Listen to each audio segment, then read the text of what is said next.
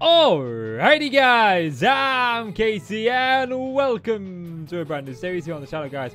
Welcome to a SMP series that I'm going to be playing along with my wife and a good friend of mine.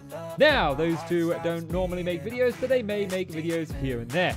And we're going to open up this episode by talking very briefly about what this series is going to be about.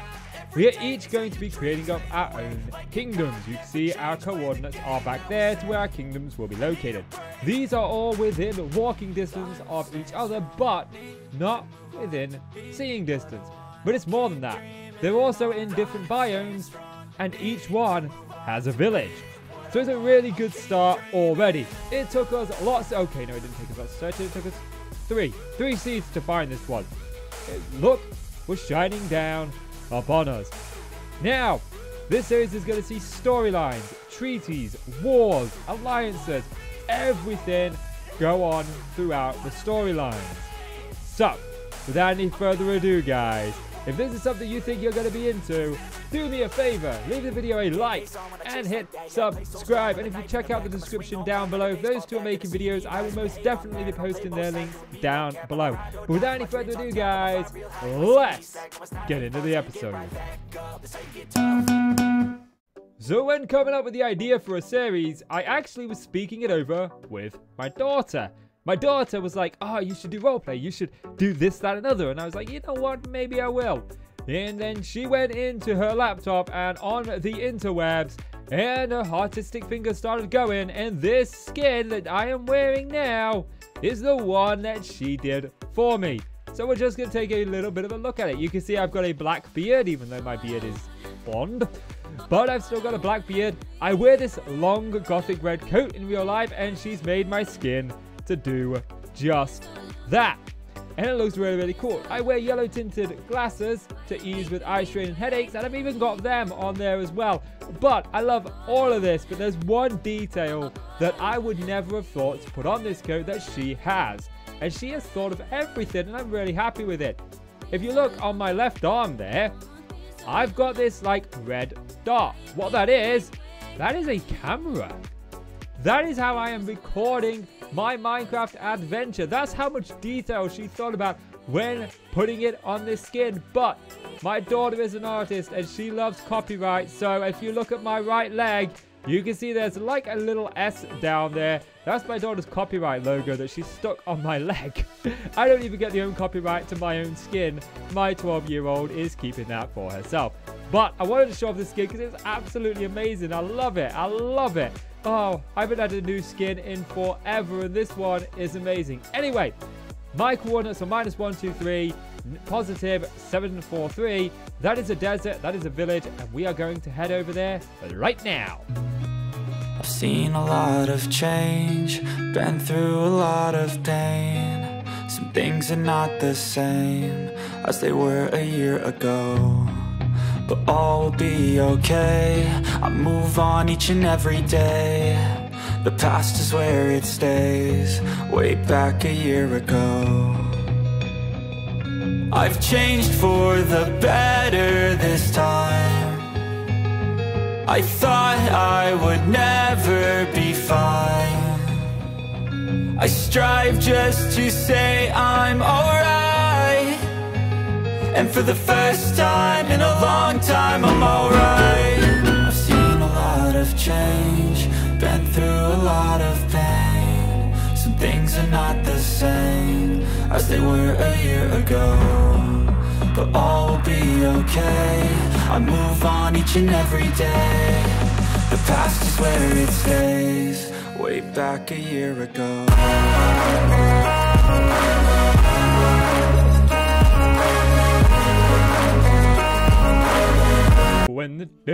is dawning. On a Texas, so it's not Texas, is it? So it's not a Texas Sunday morning. But we're here. We have arrived in this village. Now there's not too much going on here. We got a few friendly faces, and I need to make friends.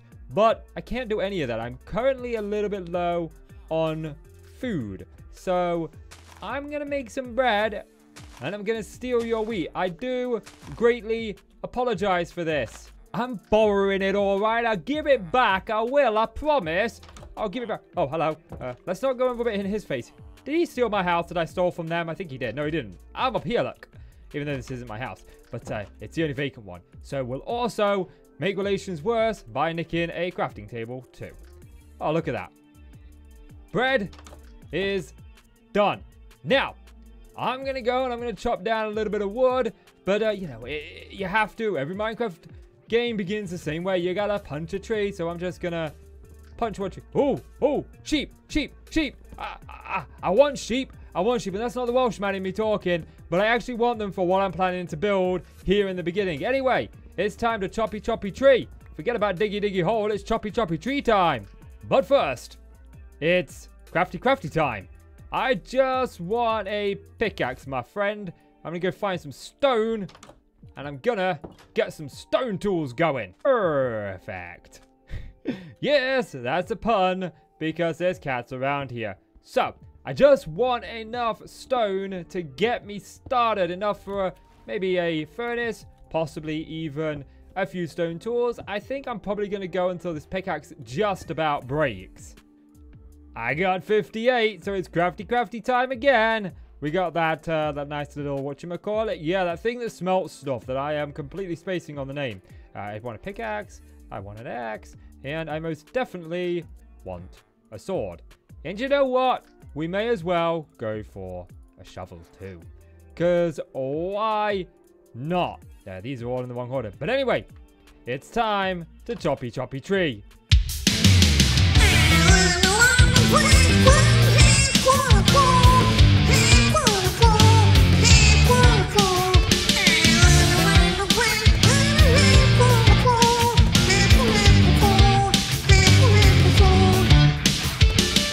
One axe brought us a fair amount of wood. It's enough to get us started, but, but, now that we're at the beginning, well, no, now not we're at the beginning, now we're at the end of the game, there's something that I want to do about at the end of the game. This is the end of the day, Casey. Learn our hours work. There's something that I want to do.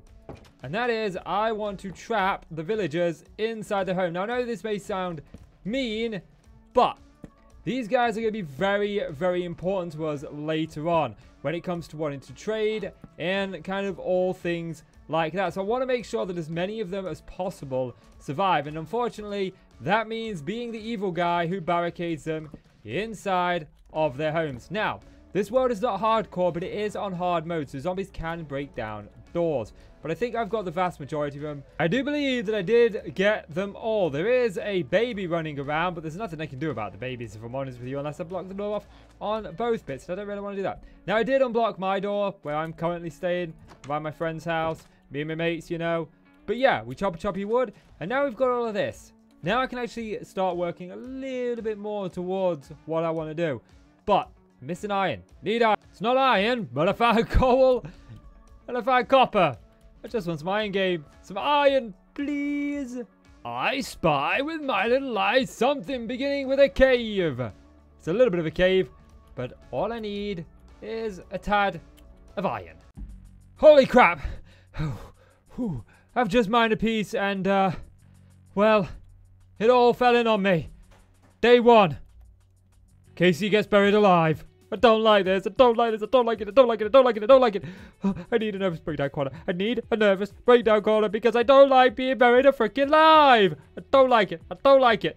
The surface is much better up here. I like it better up here. This sky and this sky and there's no sand burying me alive.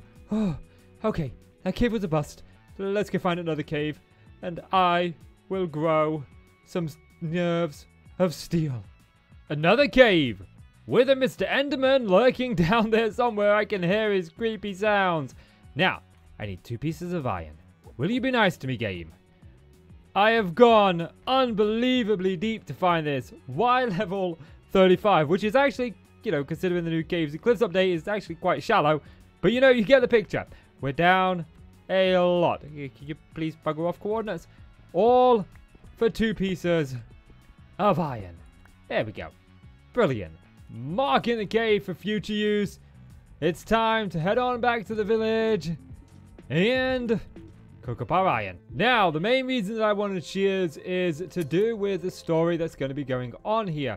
there are a few sheep just trailing about here. And there's a big water cavern there. I wonder if that goes down to a lush cave. Maybe, maybe not. I'm not sure on their actual spawning things. But there's one sheep. I want some more. But anyway, let's get into a little bit of the story. After stumbling across this village, I was an outcast. I bullied my way into a home and I stole their food. And already I've begun to build poor relations with them. And we need to sort this out. I want to take up residence in this village. I want to become a member of this community. And to do that, I need to smooth over and enhance relations. I can't do that if I keep kicking him, my newfound buddy, out of his bed. So, we're going to set up a camp outside of the village, all the way over here. And I want to build a nice little tent. I want to have a campfire outside of it, a couple of benches, you know, pretty much everything that we will need for the beginning of the game. So I did spend a little bit of time building myself a nice little tent. Let me give you the tour. So these bits back here are going to be for the workstations that we'll need. Things like furnaces, crafting tables, a blast furnace, a smoker. You know, those kind of things, the important things, that's going to be here. The floor is made entirely out of barrels for storage. I do like these. I'm not a fan of the texture, to be honest with you, but I needed some way to store all of my gear, and I thought this would be perfect. I mean, we could have put barrels along here, which was another option, but this gave me quite a bit of storage for the early game, and I'm fairly happy with that. Now, going out of here, you can see we've got a little bit of a pathway going off here, uh, which will eventually connect up with the village. And then over here, we've got a nice little campfire. And it looks really, really good. We've got a nice little stockpile of wood and some bramble bushes over here that just make it feel like this is firewood. And I've gone ahead and I've stripped a little bit of these guys. Just to make it look as if this was already stripped in nature and this was a tree that had fallen down and he had brought it over here for a log. Got some signposts on the back. And oddly enough, I thought that maybe when you stripped this, it may dislodge the signpost. It might pop off, but it actually doesn't. I thought it might do. First time I've done that. But yeah, I really do like this tent. We'll go back and you can take a good look at it from the outside. Looks like looks like a nice little camp. It's the first tent I can I think I've ever built in Minecraft. I don't think I've built any other tents. And I like it. I really, really like it. Now, I did find a couple more sheep. And I put all the sheep over here for the wall. And that is all well and dandy. So, now I think it's time that we cook ourselves up some lovely chickens. They're cooking there on the bonfire. And we have ourselves a little chat. You see, relations between us and the village is soured. But I did hear some talking about Elder Monk. He is apparently the guy who runs this village. So I think we should head over there, find Elder Monk, have a little chat, and see if there is any way we could possibly increase our relations and improve our alliances with them. Excuse me. Um, I'm looking for the village elder. I wish to make amends for my previous actions. The house on the shoulder, far side, is there. Okay, the house on the far side of the village. Thank you very much. Appreciate the time. According to that villager, this is the village elder. So the house on the far side. This is a house on the far side. Excuse me, sir. May I drop in and could we possibly have a chat? If you must. Fantastic. I'll be with you in a moment. Elder Monk. I want to start by just apologizing. What I did, and I, I, I came in, I took your food, and I stole a, a villager's bed, and I want to apologize for that. I really am truly sorry. But if you would just allow me to explain myself. I'm listening. It's been a long time since I've even seen another person. A year ago, something happened. And since then, I've been on my own. And just before I came across this village, I'd I'd swam across an ocean, I'd run through the forest, I'd hit the heat of the desert, and to be honest with you, I just wasn't in the right mental state. I was I was thirsty, I was hungry, and I just saw food, I saw shelter, I saw bed, and I thought, you know what? I really need to sleep, I really need to eat, and I just kind of went for it. And I know I probably shouldn't have, but I wanted to let you know that I'm setting up camp and I'm going to leave you alone. I'm not going to take any more of your food and I just wanted to apologize. I understand your problems, young lad, but this is a village. We have survived the mobs of the night for centuries by sticking together. And you coming here taking the food that we had stockpiled, especially when food crops grow very slowly out here, has put us at a detriment. Just the day before you arrived, our blacksmith, he was dragged from his bed out into the middle of the night by a horde of zombies. The mobs of the night descended, and with him gone, we don't have any way to defend ourselves anymore. I know, I know. That's why I haven't just gone and, and taken off. I could have carried on camping, but no. It's time that I set up roots. I've been wandering for too long, and I know what I did was bad. But if you give me a chance, I can get you food, I can get you shelter. Trust me, I've done this before, I know what I'm doing. Just give me a chance. Laddie, forgiveness isn't given, it's earned. And if you want forgiveness, you're gonna have to prove it to us. Come back when you have something more concrete to offer. That it? Come on, come on, just give me a bit, a bit more of a chance. Goodbye, laddie. That was an interesting chat, wasn't it? Anyone else think he sounded a bit like Grian? Ah. Anyways, relations are soured. We, we, we've worked towards increasing them, but uh, we need to prove ourselves to this guy. And I've got a couple of ideas. I thought, you know, maybe maybe we could fight off the mobs of the night overnight one night. Um, but that's not going to do any long-term sort of solutions, is it? All that's going to do is save them one night. But we could be we could be trickery. We could use trickery. That's right. Could be trickery. No, we could be tricky and use trickery. We could al- allow one of the zombies to hit them, then save the day and be viewed as a hero. But again, that's not my style. So I think the best thing to do is to build on what they said. The village blacksmith was dragged from his home. Now, I've got no trail to follow, nothing to know where he's at, so there's nothing I can do about that. But the village blacksmith would be making weapons and swords and stuff for him. So, how about we contribute some weapons to the village elder? Enough so that the village actually can gear up. I think that'd be a great idea. So, I'm to go find a cave, I'm to mine some cobblestone, and we'll give each villager a cobble, a stone sword. I think that'd be a good idea. I've been out mining. I've got a whole entire chest full of stone swords. I'm hoping this is enough. I would love to give them better swords like iron, but unfortunately, with the blacksmith gone, I can't really forge anything better than stone right now.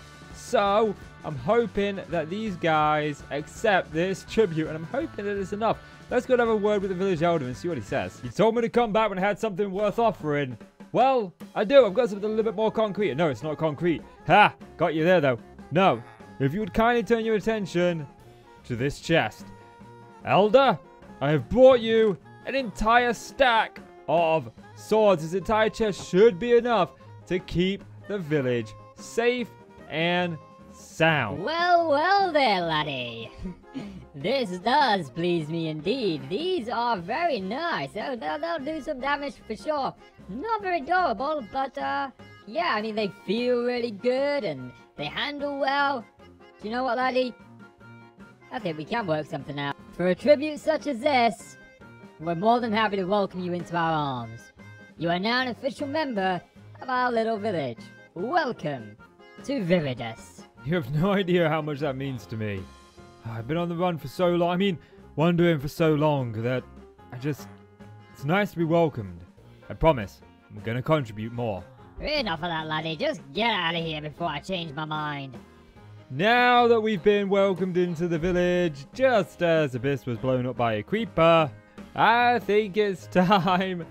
Well, there's the villagers. Villagers are wondering. What are you doing? You're all supposed to be locked up in your houses, safe and sound. Anyway, now that we've done that, we can go ahead and start actually nabbing some of those supplies. They did say we remember the village, so I am going to help myself to the wheat for early game food, as I don't really have a reliable way to get food. And as I said, I'm not the only one playing on this world. There are others playing on this world too. And they are supposed to be taking care of food. So I'm kind of waiting on them to set up some sort of trade so that we can get our hands on food. That being said, I think we've got enough to sort of see us through for the foreseeable future. There are a couple of hay bales around here. So I'm not exactly dire, and if need be, I will grow a little wheat patch. There are a couple in the village as is. Well, guys, the day is winding down, and the time has come for us to bring this episode to an end. But first of all, a new tradition that I want to start is we are going to read the memoirs. Memoirs of KC, Volume 1. Now, these transpire from days 1 to 62 in game. Now, this is a server, so these uh, days do run while I'm off the server. This week, I've learned an important lesson. Where there is redemption to be had, forgiveness will be offered. I can't believe after being on the run for over a year, I finally found a place I feel holds the key to my future. I know how to build, how to fight, and above all else, how to provide an example for others to follow. My past mistakes will always be there, and nothing I attain to do will ever change them. So I now hold my head high and focus on the events yet to transpire. Those I have control over. I've repaired a ruptured relationship, strengthened my position out here in the wild. Despite the heat, the nights are bitterly cold. Perhaps I should be. Sorry. Perhaps I should begin my journey to acquiring my own plot of land inside the desert. It'll take time, but I'm optimistic about my future. I can offer this nomadic tribe and its elder invaluable lessons from my past. These mobs of the night seem to be a prominent threat. I could build walls, a watchtower, and even homes with defences to keep them at bay. Not say. yeah, I like the sound of that. I must be wary, however, as when mining stone I bit off a little more than I could chew. I struck this tall, lanky black entity. He emitted these strange purple particles. I drew my blade and lashed out. I watched him fall from the cliff, but I foolishly, he struck me down, and I died. And then, where to find the events of this episode. So yeah, I was out mining and looking for iron early on, where I did stumble across an enderman. And we dueled. I thought I was safe. He fell down a cliff, but then he teleported back up the cliff. And as I punched him, he punched me. He fell to his death, and I died. So I have had my first death. And I do have the exact time and date that that happened recorded. We'll build a graveyard in the future, and we will encase our first death there. However, guys, I am going to be bringing an end to this episode. Now, the journal isn't without typos, I know, but it's signed so I can't go back and edit them. However, it'll remain intact the way it is, and it still tells the story of episode 1. So guys, without any further ado, do me a favor, if you've enjoyed this video, leave it a like, and if you've got comments on the storylines going on, please let me know down below. I would love to hear what your comments and what your ideas are for future storylines. But